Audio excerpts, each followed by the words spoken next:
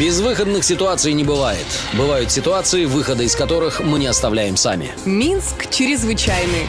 Здравствуйте. В эфире Минское городское управление МЧС. У микрофона Анастасия Гарбар. С начала года на ликвидацию пожаров, загораний и прочих ЧС столичные спасатели совершили более двух с половиной тысяч выездов. На пожарах за это время погибли 17 человек. Минск чрезвычайный.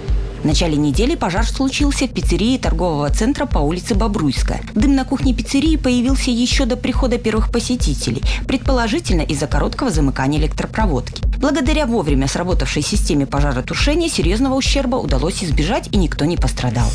Немногим позже на Кольцевой, около микрорайона Малиновка, открытым пламенем горел грузовой автомобиль. Все произошло в час пик. Менее 10 минут понадобилось спасателям, чтобы ликвидировать возгорание. В результате уничтожена кабина и поврежден полуприцеп тягача. Предполагается, что причиной автопожара стали заклинившие тормозные колодки. И в этом случае, к счастью, обошлось без пострадавших. Минск чрезвычайный.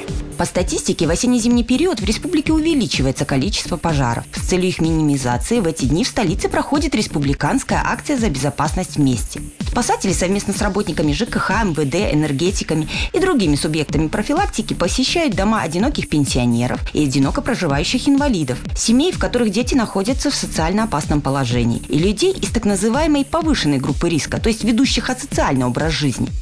Им напоминают о том, что в 98% случаев пожар – это дело рук человека, а также рассказывают, как не допустить пожар и уберечься от огня.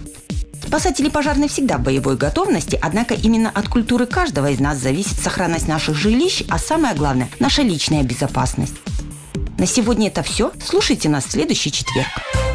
Безвыходных ситуаций не бывает. Бывают ситуации, выхода из которых мы не оставляем сами. Минск чрезвычайный.